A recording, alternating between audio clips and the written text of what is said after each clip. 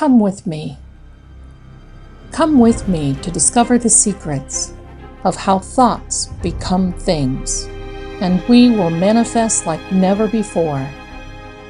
Come with me, and we'll discover a secret so powerful that will take you far beyond your dreams. Come with me on an unforgettable journey. Come with me. It's already yours. Get ready for this adventure, and I'm thankful for today that you found us. So get ready. The time is now. I'm Zelda Kelly. Welcome to Secrets Laws of Attraction. Hello, everyone. Welcome. Welcome. I am excited to bring this episode of Secrets Laws of Attraction to you because I think it's important. I'm seeing and hearing from a lot of you that there are questions regarding shedding pounds and subtracting inches.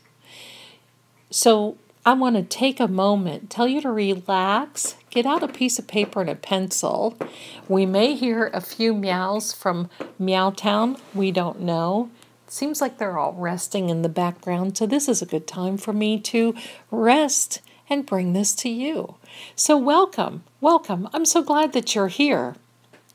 So, first and foremost, I want you to know that you are beautiful, you are handsome, you are loved, you are awesome, and you are purposely and wonderfully made. You have a purpose, and there is a plan for you. Even if you don't know what it is right now, that's okay. You will. But how does that tie in now with shedding pounds and subtracting inches? Well, first of all, let's back up a little bit. How many times have you said, Boy, I just need to lose some weight? Oh man, my weight has gotten completely out of control. It doesn't matter what I eat, it all goes to my hips. It doesn't matter what I think I can eat, nothing. And it still shows that I've gained weight on the scale. How many times have you heard that? How many times have you said, I just need to get rid of these 20, 30, 40 pounds? I hate the way that I look. I can't stand the way that I look in the mirror.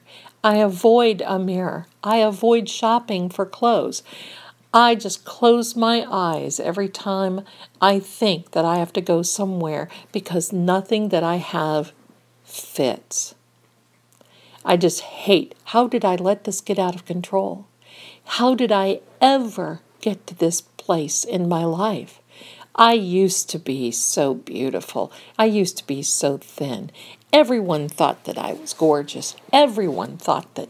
Everyone. Everyone. I bet you at least resonate with one or two, maybe three, and maybe even all of those statements. While you feel that may be right and your truth, let's dissect this a minute, okay? I want to tell you about a story long ago. This woman, I was out in public somewhere. We we were I was I was somewhere, I think at a basketball game, something like this. And this lady walks up. Now, I want you to know that this lady was clearly had extra pounds. But I got to tell you, she was beautiful. I can't remember when I've seen a more beautiful woman. Blonde hair, makeup just gorgeous. And the way that she attracted, she sat on those bleachers. She went alone and she literally left with someone. She, the, the men, and I'm not kidding. These these were not men that you would think, oh well, they couldn't get anybody else. Oh no, no. The men that were attracted to her, And even women, I have to admit, it was very hard for me to even not watch what she was doing. I went to the restroom. There she was. And we started talking, and I, I told her, I said, Listen, I, I have to tell you, you are beautiful. And she said, Thank you very much, and started to smile. And she said, I know what you're going to ask next. Now, this was years ago, my dears. This this was years ago. At least at least 40 years ago. And I'm sure she's just as beautiful, if not more beautiful now. But she asked me, she said, You know, I bet I know what you're about to ask me. And I said, I bet you do too. And I said, I don't want you to think that I'm some serial nut, but it's very hard for me to take my eyes off of you. What are you doing? Because I thought, oh gosh, maybe she was into some type of dark arts. I mean, everything, it, it was just like these men were under a spell, and the women could not stop watching this. We were all wondering, what on earth? She said to me, I learned a long time ago self worth, confidence, independence, and knowing that I am beautiful no matter what. I am comfortable and happy with the way that I am. I don't feel like I have to change for anyone. I don't feel like I have to change for myself because I have more friends, more money, and I have more opportunity than any one person could possibly ever have. My dears, she was practicing the laws of attraction. That was pretty cool. And the fact that I remembered that, I and that's that's what my lesson was. And it's for you today. You see, it's not about getting rid of that 20, 30, 40, 50 pounds, maybe even more. It's not about subtracting those inches. It is about your self love. Let's dissect this even more. What happens when you go onto a diet? The first thing you want to do is you want to start Monday morning. So now on Friday, you think, okay, I'm going to eat like a field hand on the weekend. So that way, I'm not going to want to eat on Monday. I'll have those 11 pounds of M&Ms on the weekend. So I don't want any on Monday. Well, let me tell you what you've just done. You've set your intention for having everything that you don't want. Because what happens when Monday morning comes? You dread it. You get out of the bed, and the first thing you think of is, oh gosh, I'm on a diet today. What am I going to have for lunch? Oh gosh, no, nothing ever sounds good. How can I do this? Well, I sure hope I lose something by Wednesday. It would really be nice if I could at least lose five pounds by next weekend because I have this pair of pants and I know that I bought them too small and I know that I'm just not going to fit into them. So now maybe if I starve myself. And what happens? It happens to all of us. You stand in front of the refrigerator and you look in there and then you close it. You roll your eyes in disgust and then you walk away. Pretty soon you're back in front of the cabinet you're opening the cabinet and you're standing there with your hand on your hip, the other hand on the cabinet door. You're looking at all the boxes of all the good stuff that you can't have. And then you think, wow, why did I do this? Because I don't have anything that I can eat. Oh gosh. So I know what's going to happen. I'm not going to lose any weight anyhow. So I'll just take a little nibble of this. Do you see what happens?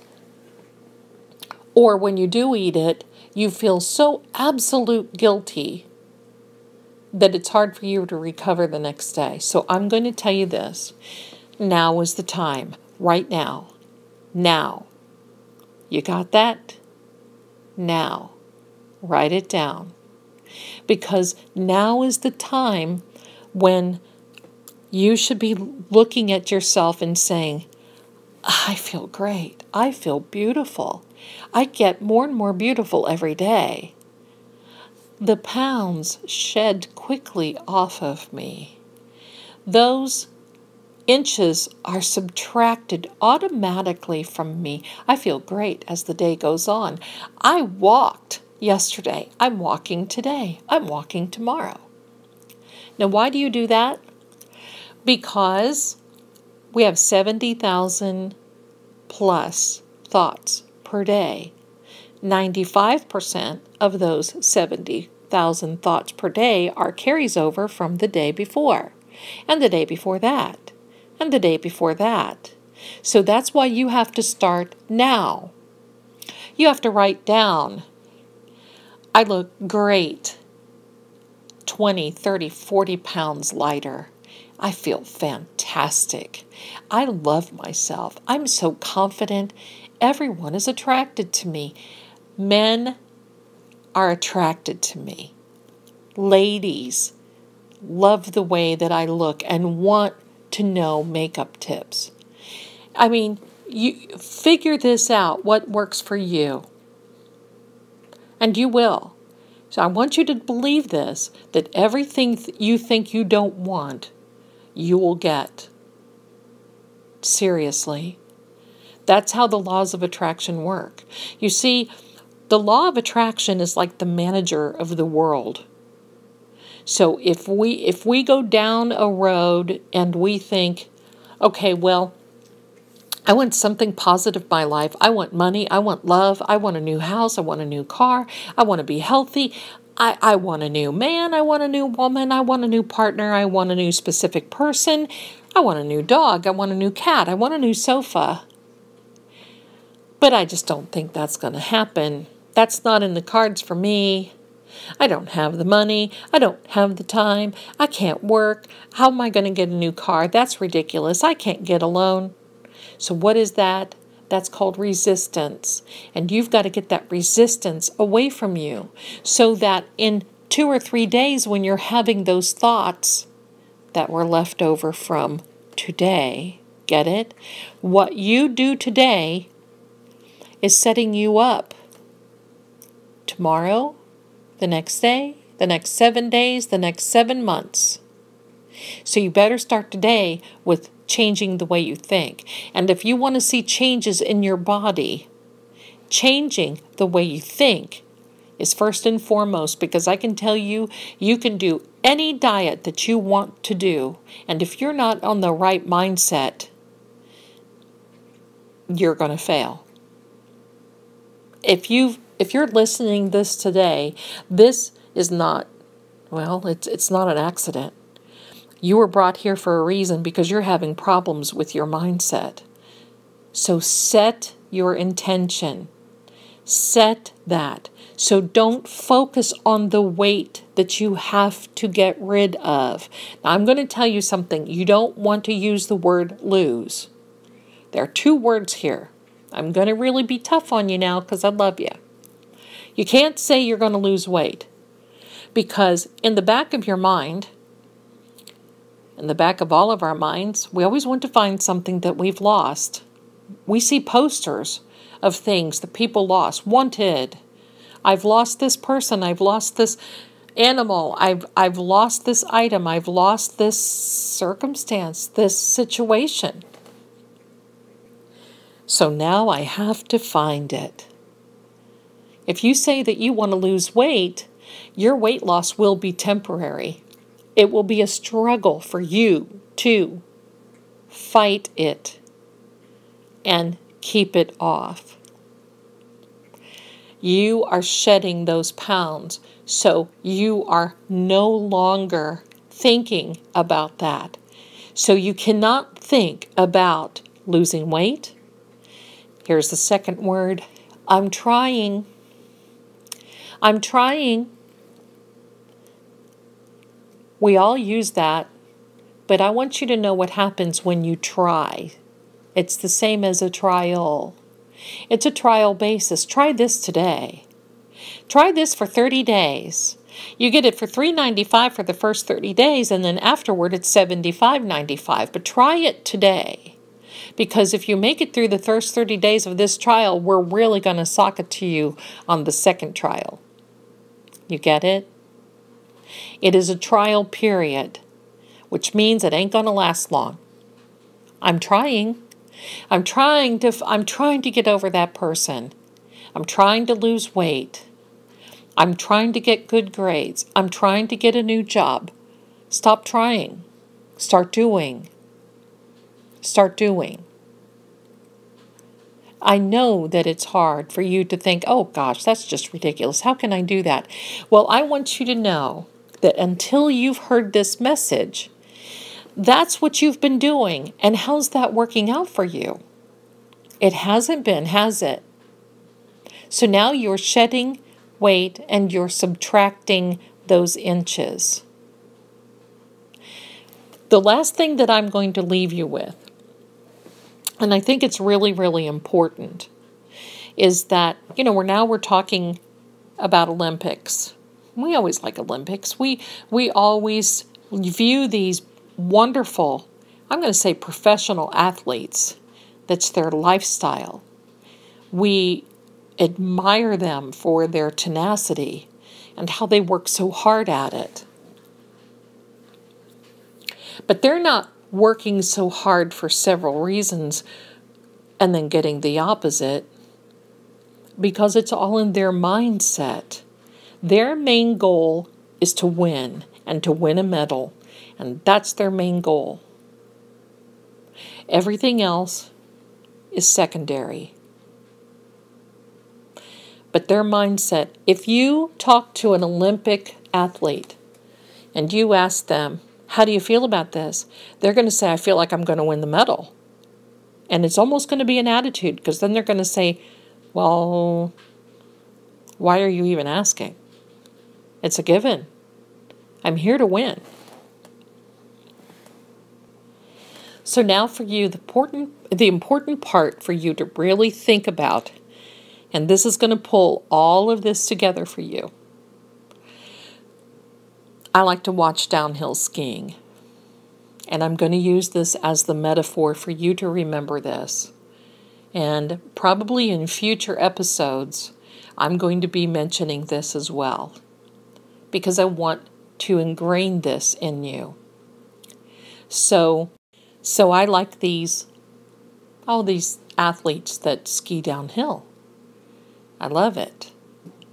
But every time they do, I watch with like one eye closed because they are skiing downhill speeds through trees and through all kinds of obstacles and oh my goodness.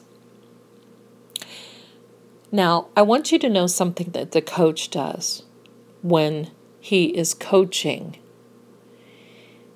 he helps them retain a different mindset. Because what is it when you think about that? When I think about it, I think, oh my gosh, that would be more than a tragedy if one of these beautiful skiers hit a tree. Well, the coach doesn't look at the skier and say, now be careful, don't hit a tree. Because you know what happens. When you're trying to be careful and not do something, that's when it happens. You know that. When you're trying to walk in front of this new man in your new high heels, and what do you do? The first thing you think of is, oh gosh, if I can just not trip. What do you do? You trip, right? So you don't want to create your mindset as if I don't lose the weight, I'm a failure. If I weigh a certain poundage. I am a failure. You want to look at yourself first as a wonderful, attractive person. People are attracted to you. You're beautiful the way you are. You eat in a certain way that your body follows. You're happy when you eat. And when you do that, you realize that you don't need the whole pizza. You you get full on one slice. So there's other things that you can think of. I'm getting back to the skier now. Don't lose me. There are other things you can think of. I get full quickly and easily. I'm happy. My body is happy with what I eat. I'm happy with one small portion. I'm happy. I'm happy with every day. I'm happy because I'm walking. I'm happy because I'm working out. And when you start focusing on your own happiness and where your mindset is, your body's going to follow and you watch. When you start telling the situation what you want, what you expect, then the situation will conform. When you start telling your body that it loses weight safely and quickly, your body will lose weight safely and quickly. Right? Did you catch that? Lose. Good. I want you to get that so you do catch that. So, what do we say now? My body sheds pounds. My body subtracts inches. Quickly, safely. I'm having a great time. I'm having fun. I have a goal of going on this vacation on X amount of date. I know I'm going to look great. That's the suit I want. That is the dress that I'm going to have. That is the pair of shoes that I'm going to have that is the makeup that I'm buying. You see what I'm saying? So back to the skier.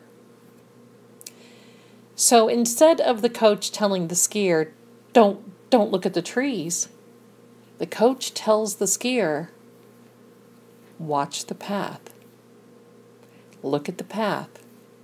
Concentrate on the path. Concentrate. Concentrate. Focus on the path that you are taking so you don't hit a tree, so you don't hit a dead end, so you don't so you don't crash in the middle of your wonderful idea and your goal and you have to start over again. Because that coach knows that the moment that you plant that seed, don't hit a tree, they're going to be focusing on not hitting a tree. And what's the ultimate tragic end? I don't even want to say it. So I want you to focus on your path. Focus on having a good time, shedding the weight and subtracting the pounds and subtracting the inches and shedding the inches, and it's all going to fall off of you. And you're looking even greater every day. Now, this means that you don't get up on Monday morning and you weigh yourself and then you weigh yourself Monday at noon, and then you weigh yourself Monday at, I guess, 4 o'clock. And then again on Tuesday morning, Tuesday noon, and 4 o'clock in the afternoon.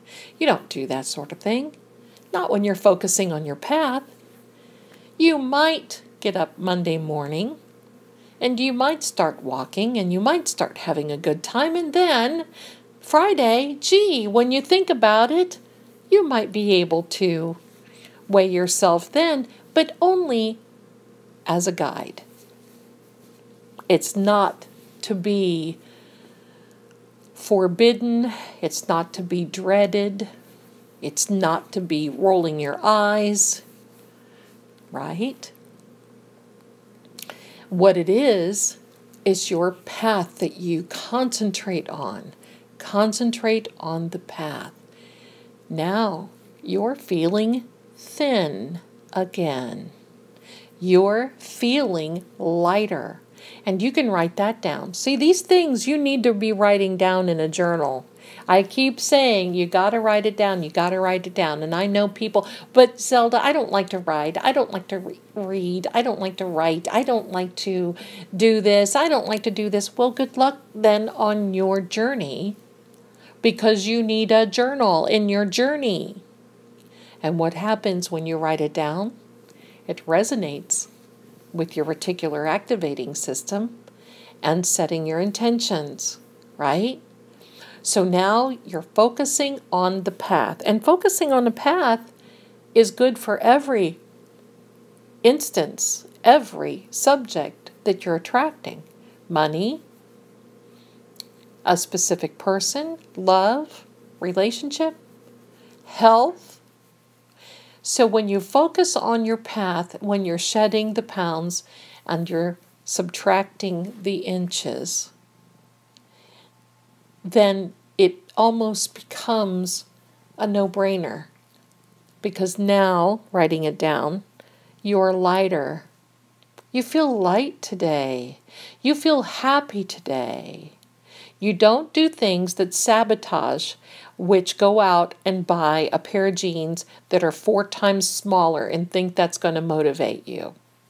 Because the more you try to fit in those jeans, the more you're going to get discouraged, and those jeans are going to land in the bottom drawer, and you're going to end up forgetting about them, and then you're going to avoid them because you don't you, don't want to revisit that hurt, disappointment, failure.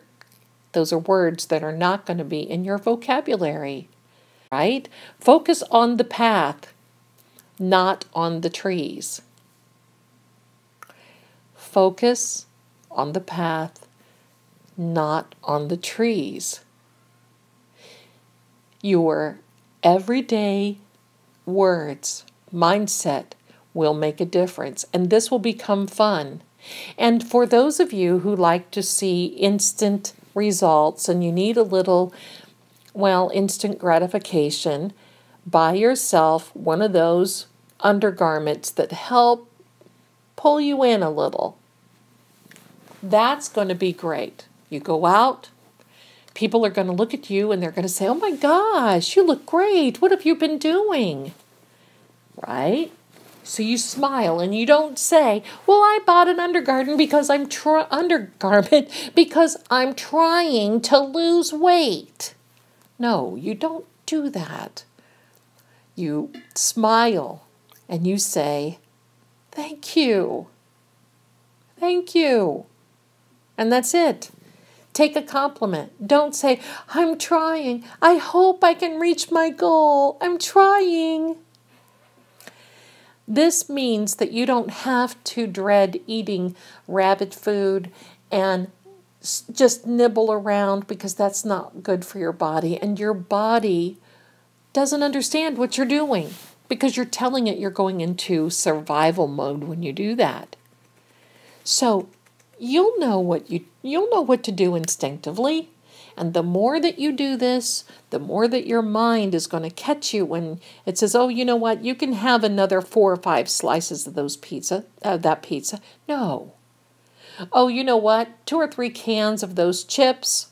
It won't hurt me. I'm on the laws of attraction. No. This is all about becoming healthy and safely shedding the pounds, subtracting the in- inches.